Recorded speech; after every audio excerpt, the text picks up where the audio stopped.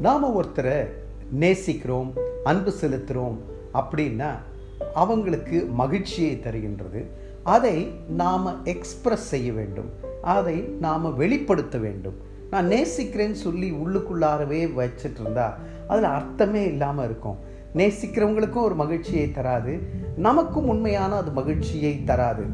அப்போ நேசிக்கிறோம் அப்படின்னா ஏன் நேசிக்கிறோன்னா ஃபர்ஸ்ட்லி வி அப்ரிஷியேட் தெம் அவங்க செய்கிறத எல்லாவற்றையும் நல்லது நல்லதுன்னு நம்ம அப்ரிஷியேட் பண்ணுறோம் அடுத்தது பார்க்கும்போது வி அக்னாலஜ் தெம் அவங்க செய்கிறத நாம் புரிந்து கொள்ளுகிறோம்.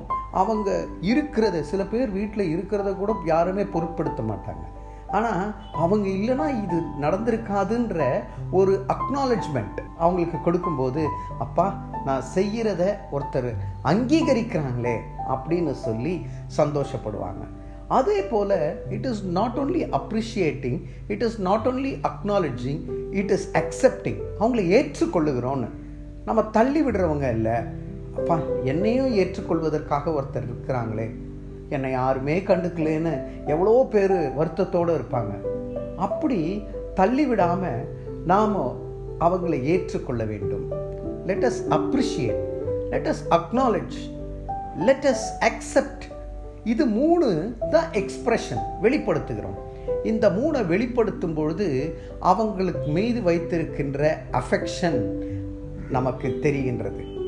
அவங்க மீது வைத்திருக்கிற நேசம் அன்பு நாம காட்டுகிறோம். ரெண்டு சாமுவேல் ஆறாவது அதிகாரத்துல பெட்டியை ஓபேத் ஏதோம் வீட்டிலே இருக்கிறது. தேவனுடைய அந்த தி ஆர்க் இருக்கக்கூடிய இடம் அப்படியாக இருக்கிறது. அந்த வீடு முழுவதும் ஆசிர்வதிக்கப்பட்டு இருக்கின்றது அந்த வீட்டுக்கு செல்லுகிற அந்த வீடு இப்படி ஆசிர்வதிக்கப்பட்டு இருக்கின்றது என்று தாவிது கண்ட பிறகு அந்த வீட்டிற்கு சென்று அந்த பெட்டியை எடுத்து வரும்பொழுது ஒரு நடனம் ஆடுகின்றார். ரெண்டு சாமியல் ஆறாவது அதிகாரம் இருபதாவது வசனத்தில் பார்க்கும்பொழுது சவுலின் மகளாகிய மீகாள் சொல்லுகிறாள் ஏயா நீ ராஜாவாச்சு.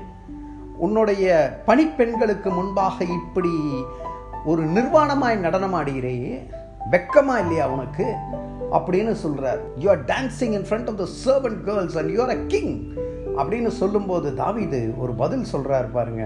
ரெண்டு சாமியல் ஆறாவது அதிகாரம் இருபத்தி இரண்டாவது வசனத்திலே பார்க்கும் பொழுது இதை பார்க்கிலும் இன்னும் நான் நீசனும் என் பார்வைக்கு அர்ப்பணமானவன். அப்படியே நீ சொன்ன பெண்களுக்கு மகிமையாய் விளங்குவேன் என்று சொல்லுகிறார். அதற்கு முன்பு இருபத்தோராவது வசனத்தில் சொல்றாரு உனக்கு என்னடி தெரியும்? என் அப்பாவை பற்றி உனக்கு என்ன தெரியும்? நான் என்னைக்கோ எப்படியோ போயிருப்பேன்.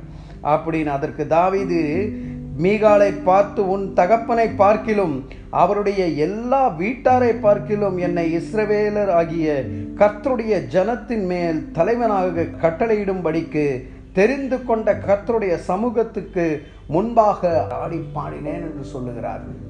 ஏன்னு தெரியுங்களா? நான் ஆடு மேய்ச்சிட்டு இருந்தேன். உனக்கு என்ன தெரியும்? எங்கள் அப்பா என்னை கைவிட்டுட்டாரு. ஜெஸ்ஸி கைவிட்டாரு. எங்கள் அம்மா நான் தவறாக பிறந்தவன்றனால நான் வெக்கக்கேடாக மாறிட்டேன். என்னை தள்ளி விட்டுட்டாங்க. என் தாய் என்னை பாவத்திலே கர்ப்பம் தரித்தாள். எல்லாரும் என்னை தள்ளிட்டாங்க.